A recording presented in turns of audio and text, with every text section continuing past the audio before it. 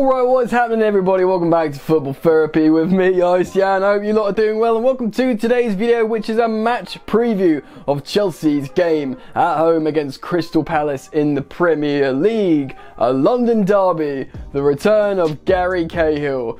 Just a bit of narrative for you there to add to what is quite an important game for Chelsea because things go their way this weekend, they can see themselves go third, even second Whoa. It's going to be a very different test to Ajax. It's going to be Roy Hodgson, very stern, defensive, you know, canny football. He's a smooth operator, old Roy Hodgson, and he will not basically let Chelsea slap him about. So it's going to be a tough game, and Chelsea obviously have Jorginho suspended, which is a bit of a problem for them, but you know, it was better he was suspended for Palace than the Manchester City game, so I get it. And Mason Mount obviously came off injured against Ajax. Whether there'll be a problem for starting this game or not, we have to see if Frank selects him. Anyway, before we get into the match preview, a quick reminder to you there to subscribe to Football Therapy and click the bell notifications icon so you don't miss out on any of this daily Chelsea Football Club content. Oh yeah, and why not like the video to help out your boy? Yeah, so like I said in the intro,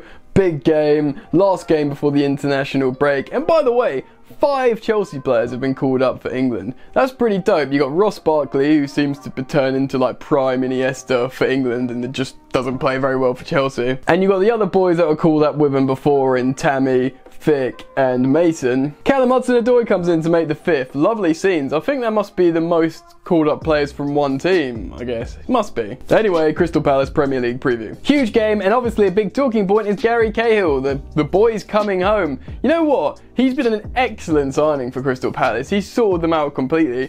Arsenal are looking like they got the wrong player. I get why they wanted David Luiz. They wanted the sort of cultured, technical footballer who can play long balls to like Aubameyang, Lacazette, and now Pepe.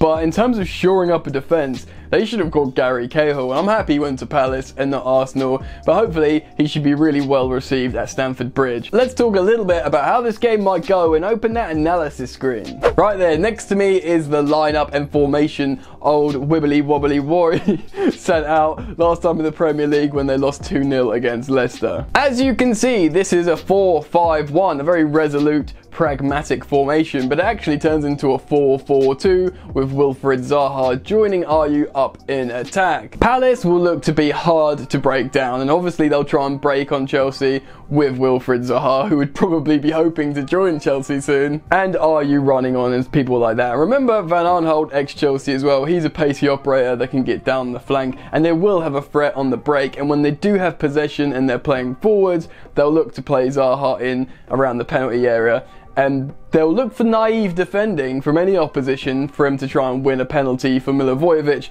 to convert every single time. It's often worked for them and they'll be looking to do that again. And you know what? Chelsea definitely can do some naive defending. Hodgson will be rubbing his hands together at this prospect and that will probably be one of their main forms of attack as well as putting in set pieces, trying to score goals in that way. And you can almost smell the narrative of goal scoring centre back Gary Cahill getting on the end of a set piece, a corner or a free kick and putting one away against Chelsea. It's just the way, isn't it? So that's what you can expect from Palace, a kind of pragmatic, counter-attacking, set piece, advantage taking kind of vibe, especially away from home. They'll be resolute though, they'll be hard to break down and like the aforementioned factor that I've said already twice in this video, they'll be a completely different prospect to Ajax. And Chelsea need to be ready for that. So let's switch the graphics to a potential Chelsea lineup. The Tinkerman 2.0 Frank Lampard seems to have stopped tinkering. It did look like he went to a 4-4-2 diamond at the end of that Ajax game,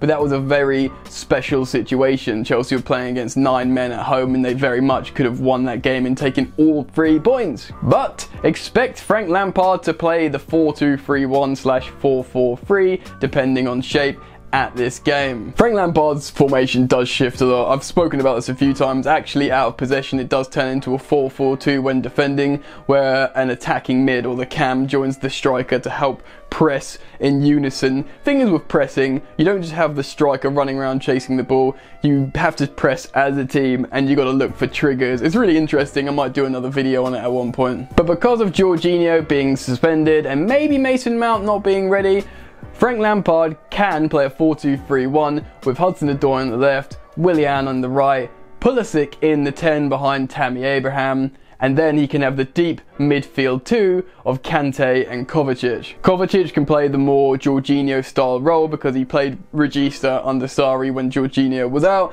and he's got a good range of passing, and it lets Kante do the more roaming, destroying, dribbling role, linking up with attack, which we know Kante can do very, very well. Kante suits the right centre mid a lot more, so maybe Frank will play a conventional 4-3-3, play Kovacic as the deep pivot like he did under Sarri when Jorginho was out, Kante right centre mid like he played under Sarri, and left centre mid could be Mason Mount, or maybe maybe even Pulisic does drop into there if Mount's still injured, and that would be an interesting situation. I think also we might see Billy Gilmour start in this game, uh, if not in the number 10, maybe left centre mid.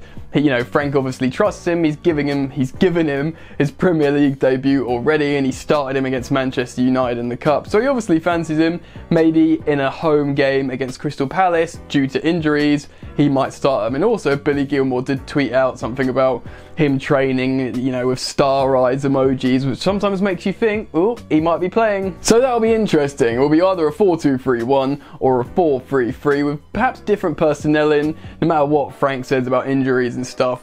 He, he, like many managers, doesn't want to put all his cards on the table before match day to give, you know, a canny operator like Roy Hodgson too much information. Alright then, we've talked about potential lineups and personnel and formations and stuff, so let's get rid of the analysis screen.